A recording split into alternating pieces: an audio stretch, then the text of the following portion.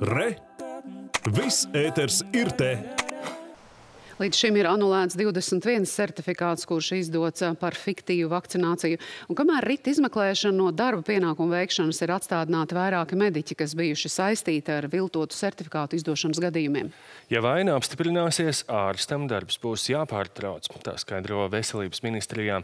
Bet kā nosaka, vai certifikāts viltots vai īsts, par to vairāk Odita Krenberga. Šī ir Nacionālā references laboratorija, un uz šejieni tiek nogādāti asins paraugi no visiem Latvijas stacionāriem, no visām slimnīcām, un šeit tiek, tiek analizēti, lai noteiktu antivielu sastāvu asinīs. Mums arī iespēja atšķirt, vai tās antivielas, kas cilvēkam cirkulē, ir izstrādātas pēc vakcīnas, vai ir tādas antivielas, kuras ir izstrādātas pēc saskarsmes ar pašu vīrusu. Tātad, ja mēs konstatējam, ka cilvēkam, kurš ir pilnīgi vakcinēts un viņam nav antivielu, nav konstatētas antivielas, tad tas ir tāds aizdomīgi, jau aizdomīgs gadījums.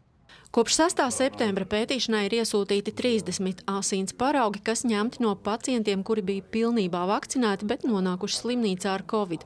Un par četriem ir aizdomas, ka vakcinācija viņiem bijusi fiktīva. Taču simtprocentīgi noteikti pēc asins paraugiem vien nevar. Tādēļ papildus jābūt arī ārsta slēdzienam par konkrēto pacientu, kāpēc antivielu nav. Iemesls var būt tas cilvēka kaut kāds veselības stāvoklis un uh, kaut kādas blakus uh, saslimšanas vai blakus diagnozes, vai arī cits iemesls. Cits iemesls jeb viltots certifikāts. Tos, kuri par viltojumiem zina, veselības ministrija aicina neklusēt, lai par iemeslu pacienta nāvei nekļūst krāpjoties iegūts certifikāts.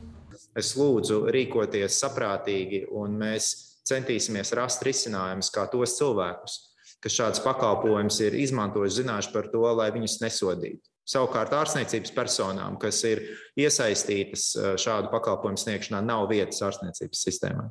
Starp atklātajiem, piemēram, ir arī gadījums ar jaunu, visnotaļ veselu cilvēku, kurš inficējies ar covid, bet kuram antivielu nav. Un tad secinājums ir, certifikāts ir visticamāk viltots.